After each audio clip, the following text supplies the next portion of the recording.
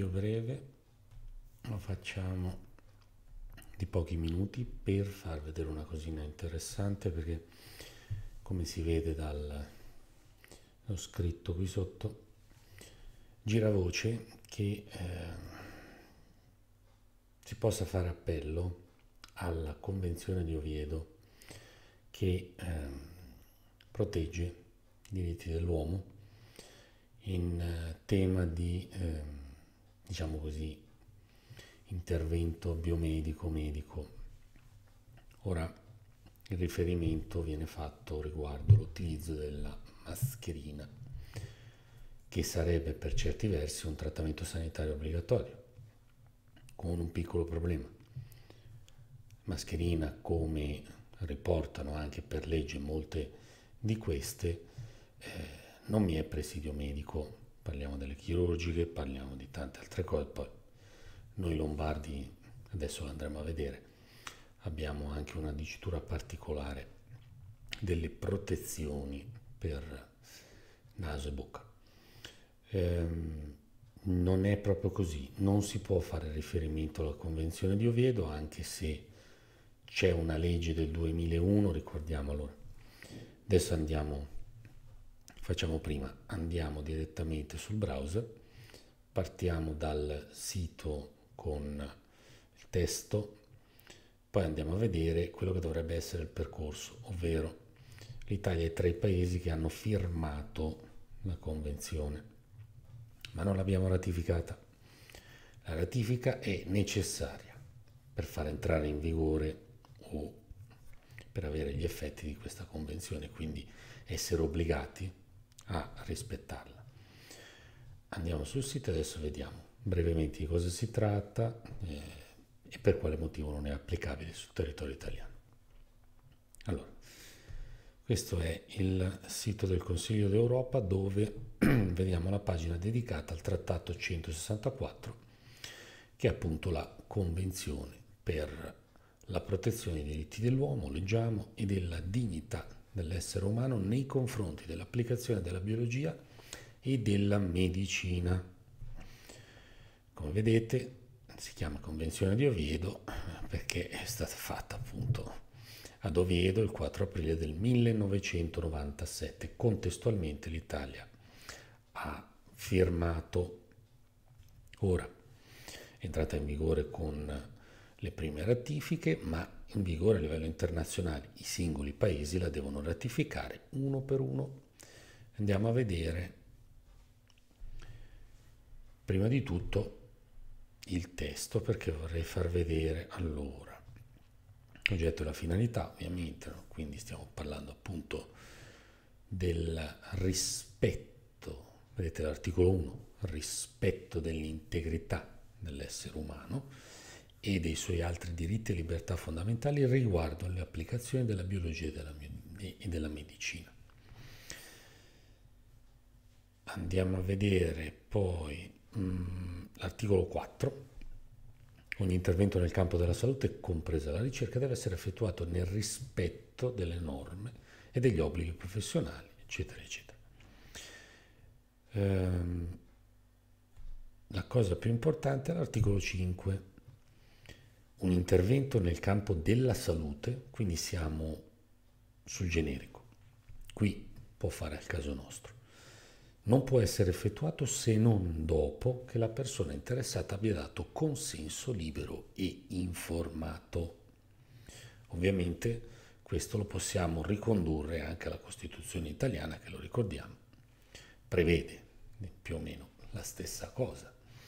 Nel momento in cui però la sospendi, allora abbiamo qualche problemino. In ogni caso, torniamo qui, avevamo fatto scorrere, vedete che c'è il link firme e ratifiche, se non ero l'avevo già aperto, eccolo qua, stato delle firme e delle ratifiche, abbiamo l'elenco di tutti i paesi membri del Consiglio europeo, vedete che sono molti a non averlo nemmeno firmato, se ricordo bene la stessa Germania non l'ha mai firmato, quindi la, la, Francia invece se non ero già fatto la ratifica, vedete che trovate le tre colonne, firma, ratifica, entrata in vigore. L'Italia è tra i paesi che hanno firmato, punto e basta, siamo qua. siamo questi, quindi noi abbiamo firmato, ma contrariamente a quello che, sostiene, che sostengono alcuni, non l'abbiamo ratificata, andiamo a vedere perché. Questo è l'ultimo documento disponibile, 17 ottobre 2017, questo è un atto del Senato, l'atto di sindacato ispettivo numero 100854. Cosa si chiedeva all'allora governo? Ma potete andarne a trovare anche altri di documenti come questo perché non è la prima volta che si reitera una certa richiesta. Allora, al di là di tutte le cose che vengono eh, dette, a noi interessa, prima cosa, la Convenzione ad oggi non è ancora stata adottata da tutti i paesi dell'Unione Europea. L'Italia ha recepito la Convenzione nonché il protocollo sul divieto di clonazione degli esseri umani, eccetera, eccetera, con la legge 28 marzo 2001 numero 145. E qui siamo sull'unico documento valido, per così dire, articolo 1, essa autorizza il Presidente della Repubblica a ratificare la Convenzione e il protocollo.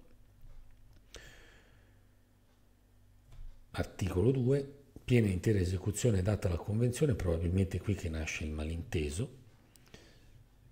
piena e intera esecuzione è data alla Convenzione e al protocollo a decorrere dalla data della loro entrata in vigore. Detta così sembrerebbe che l'Italia abbia fatto il passaggio eh, della ratifica. In realtà, vediamo l'articolo 3, il governo è, de- è delegato ad adottare entro sei mesi dalla data di entrata in vigore della presente legge, quindi quella del 2001, uno o più decreti legislativi recanti ulteriori disposizioni occorrenti per l'adattamento dell'ordinamento giuridico italiano, eccetera, eccetera. Ora, considerato che Vedete come lo dice.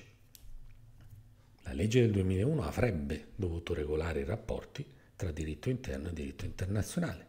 In realtà ha da una parte autorizzato il Presidente della Repubblica alla ratifica, dall'altra ha dato piena e completa esecuzione alla Convenzione, al protocollo, eccetera, eccetera, a mezzo di una delega non ancora esercitata. Il che vuol dire che mancano i passaggi successivi. L'iter di ratifica, infatti, non è stato ancora perfezionato con il deposito del dispositivo presso il Consiglio d'Europa. Il mancato deposito del dispositivo e il mancato esercizio della delega no, hanno determinato nel nostro Paese una sorta di, virgolette, sospensione dell'efficacia della Convenzione di Oviedo, determinata in particolare da una rettifica prevista ma non ancora perfezionata. Poi ci sono tutta un'altra serie di indicazioni sostanzialmente che cosa succede, cosa ci, di, cosa ci racconta questo documento, così come altri simili ma precedenti.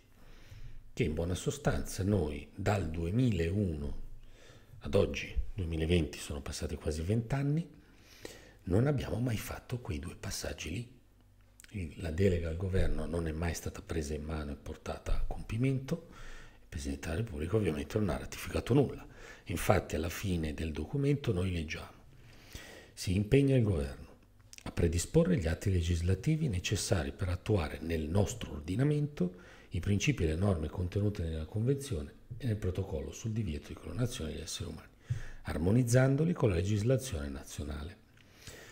2. A porre in essere tutte le iniziative a perfezionare l'iter di ratifica della Convenzione e del protocollo presso il Consiglio d'Europa. Quindi noi non abbiamo perfezionato, sostanzialmente noi eh, manchiamo di questa ratifica. Ora, perché ne parlo velocemente al volo qua in studio?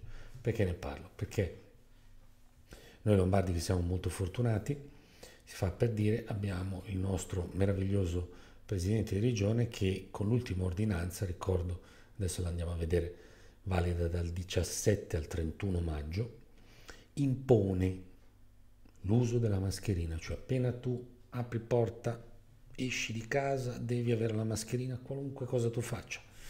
E siccome io sono discolo e non me la metto, eh, l'ho messa due volte. Sfortunatamente sono dovuto entrare nel negozio e essendo un'attività privata e se mi dicono che non posso entrare senza mi girano un pochino ma sono costretto. Anzi non ho messo poi la mascherina un po' diverso. Comunque ho messo una specie di fulardino e poi me lo sono tolto perché spiace ma io non riesco a respirare. Con una roba del genere sulla bocca faccio una fatica bestiale. Ehm, andiamo a vedere un attimino l'ordinanza così ci capiamo allora Qui l'ordinanza, l'ultima è questa, la numero 547, 17 maggio, vabbè ci sono tutti i visti, visti, visti, ci fosse stata la convenzione di Oviedo probabilmente qualcosina sarebbe cambiato, ma non c'è, abbiamo detto, quindi articolo 1, ordina, eh? Fontana ordina. Le misure urgenti di contenimento del contagio 1.1 obbligo di utilizzo della mascherina o di altre protezioni. Ogni qualvolta ci si rechi fuori dall'abitazione, vanno adottate tutte le misure precauzionali consentite e adeguate a proteggere se stessi e gli altri dal contagio. Utilizzando la mascherina, tra l'altro delle due l'una, o io sono contagioso o io non sono contagioso, però va bene stessi. Queste sono quelle minchiatine così, pur parlè utilizzando la mascherina o in subordine qualunque altro indumento a copertura di naso e bocca, contestualmente ad una puntuale disinfezione delle mani. In ogni attività sociale esterna deve comunque essere mantenuta la distanza di sicurezza interpersonale di almeno un metro.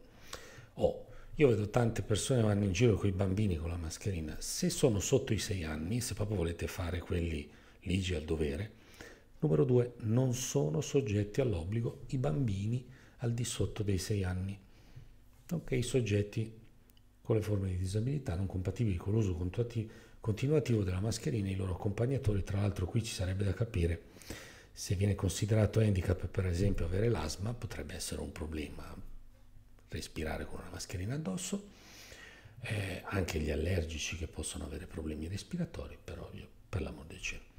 Numero 3, attenzione, attività motoria, attività sportiva, infatti. Io sto uscendo tranquillamente anche in bicicletta senza mettere assolutamente nulla, ma questa è consentita, non mi piace, mi piace di più il punto numero uno, non è consentito e io, siccome non acconsento a che eh, non sia consentito, insomma ci siamo capiti, quindi semplicemente torniamo a chiudere, noi abbiamo punto numero uno, per noi lombardi, non è così in tutta Italia, ma comunque, punto numero uno, obbligo di mettere la mascherina.